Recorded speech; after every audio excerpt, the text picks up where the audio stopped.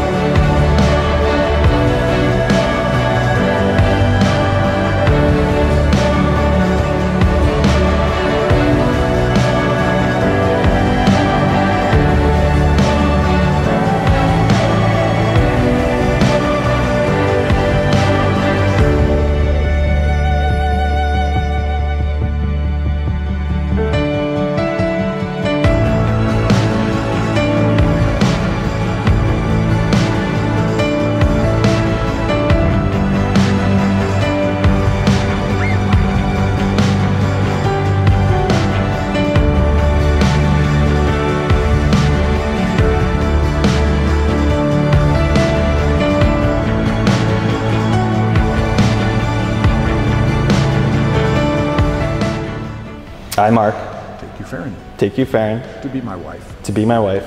I promise to be true to you I promise to be true to you in good times and bad, in good times and in bad, in sickness and health. in sickness and health. I will love you and honor you I will love you and honor you all the days of my life. all the days of my life. I, Ferrin, Take you, Mark, take you, Mark, to be my husband. to be my husband. I promise to be true to you I promise to be true to you in good times and bad, in good times and bad, in sickness and health. in sickness and in health. I will love you and honor you I will love you and honor you all the days of my life. all the days of my life.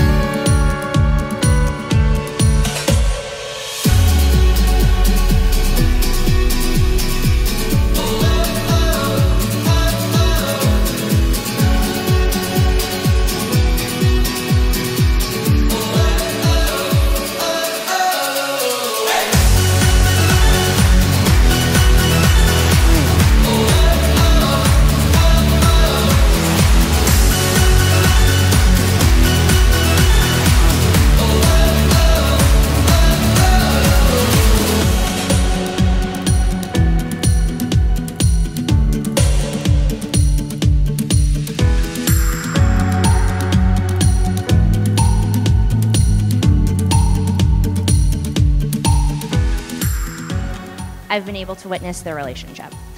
And what I've witnessed is that they are the example of what you want in a partner.